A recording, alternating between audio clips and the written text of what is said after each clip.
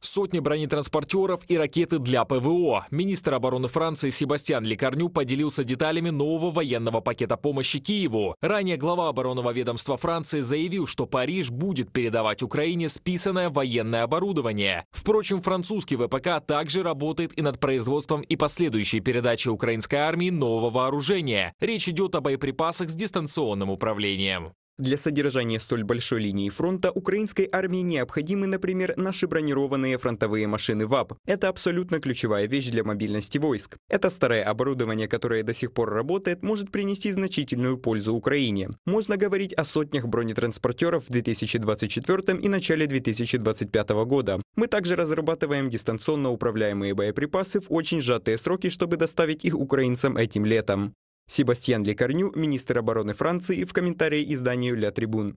В феврале 2024-го премьер-министр Франции Габриэль Аталь заявил, что государство не только увеличит финансирование помощи Украине, но и расширит круг предоставляемого вооружения. Тогда же глава оборонного ведомства Франции Себастьян Лекарню сообщил, что государство вложило деньги и модернизировало украинские самолеты МиГ-29 и Су-24М. Все для того, чтобы истребители могли нести авиабомбы, которые Париж будет поставлять Киеву. Чтобы помочь украинской армии, Франция реинвестирует значительные средства в свои свои войска. По словам Лекарню, по плану на 2024-2023 годы государство потратит 413 миллиардов евро. Французская внешняя политика достаточно быстро, ну, по меркам, собственно, таких изменений, в общем-то, радикально повернулась.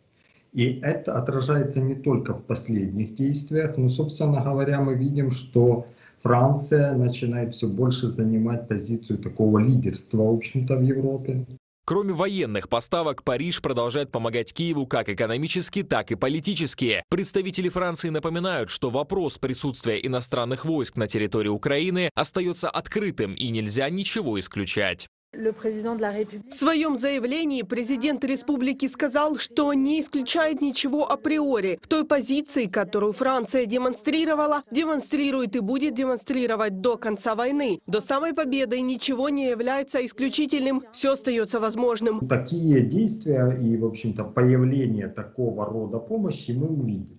Это не будет так быстро, но я думаю, что поскольку конфликт России с так называемым Западом не собирается затихать.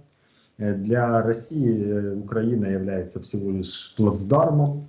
И в этом смысле война России в Украине неминуемо будет все больше втягивать все большее количество стран более непосредственно. Напомню, впервые заговорили о возможном присутствии войск западных стран в Украине в феврале 2024-го. Тогда президент Франции Эммануэль Макрон отметил, что нельзя ничего исключать. Уже в марте, как пишет политика, Париж начал создавать коалицию стран, готовых отправить свои войска на помощь Киеву. Эту инициативу поддерживают страны Балтии, Польша, а также некоторые страны Центральной Европы и Канада. Никита Скобликов для телеканала Freedom.